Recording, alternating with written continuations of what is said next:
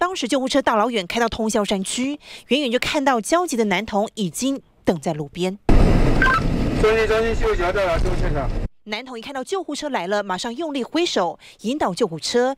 当时他穿着长袖长裤和雨鞋，还顶着烈日，一路快跑四五百公尺，因为他的爸爸被野蜂攻击昏过去了。快走一点，前面左转，前面左转了。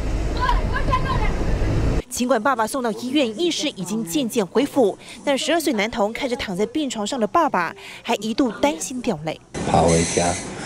还是帮爸爸叫救护车，叫救护车，叫救护车。安，你手机带着嘛，对不对？男童说，他的爸爸是法警，趁着端午连假从桃园回到苗栗老家祭祖，就在上山除草整理果园的时候，爸爸的颈部疑似被野蜂蛰伤，全身发麻，随后就晕眩昏倒。他第一时间就赶紧打一一九求救。突然都看不到，突然看不到，然后，然后。